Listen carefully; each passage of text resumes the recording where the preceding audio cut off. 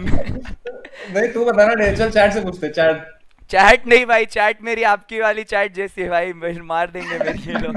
कुछ भी बोल देंगे भाई ये लोग। देखते हैं क्या बोलती है चैट। भाई चैट की सुननी चाहिए तभी तो आगे बढ़ता है इंसान। चलो ठीक है। भाई दिवे एक सेकेंड ना भाई नीचे आ जाओ आप मतलब आपको भी फुल गॉड वाला रोल दे रखा है। लाइव में आ जाओ और डॉक ऋषभ को ट्रैक कर लेना और छपरी को भी ट्रैक कर लेना। लेकिन इन केस कोई आ गया अगर कुछ क्योंकि ये ओपन है ना तो आपको कोई आके बोल दिया। सही है ना जनता अच्छा फिर ठीक है। नहीं नहीं टॉक्सिक जनता ना आ जाए वो वो हिसाब से मैं देख नहीं नहीं अठारह लोग कौन ही टॉक्सिक है आउट